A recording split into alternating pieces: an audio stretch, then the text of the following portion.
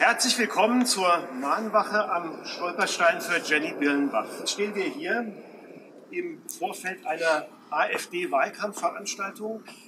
Ich muss sagen, ich bin erschüttert von dem, was ich da in der letzten Zeit auch gelesen habe, was in unserer Gesellschaft scheinbar wieder geht.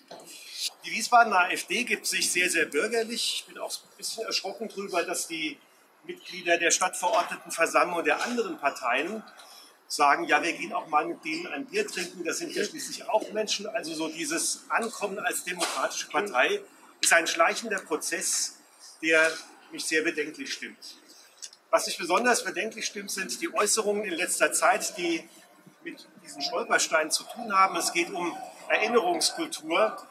Ja, da heißt es, wir müssen endlich mal aufhören mit diesem Schuldkult und die Erinnerungsdiktatur muss ein Ende haben. Diese Stolpersteine sind Erinnerungskultur und sie sind unglaublich wichtig und sie gehören zu unserer deutschen Geschichte ganz untrennbar dazu.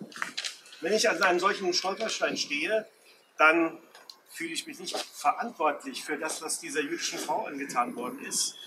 Ähm, ich gehe auch nicht gramgebückt von Schuld darum, sondern ich fühle mich verantwortlich dafür, dass so etwas sich nicht wiederholen kann das Deutschland, äh, für das ich stehe, für das ich auch gewisse Gefühle hege. Ich bin als Christ ohnehin Internationalist, aber wenn ich schon nationale Gefühle hege, dann ist das das Deutschland, das für Humanität eintritt, für Freiheit, das sich öffnet, das Geflüchteten Zuflucht gibt. Und ich habe viel mehr Angst, dass unser Deutschland seine Identität verliert, wenn Menschen wie die gerade im Hilde Müller Haus sich versammeln, ein Deutschland propagieren, das engstirnig ist, auf irgendwelche Blutssachen äh, eingeht, äh, dass äh, ja, diese Weite vergisst. Das vergisst, dass wir alle Menschen sind. Ja, und dieses Deutschland, für das möchte ich gerne einstehen, das Erinnerungskultur pflegt. Und ich freue mich, dass trotz der Kälte so viele Menschen hier stehen, die das auch so finden. Ich freue mich über die Regenbogenfahren, die Transparente überall hier rund um den Wallofer Platz, die zeigt, dass die Mehrheit eben nicht so denkt wie die AfD-Mitglieder.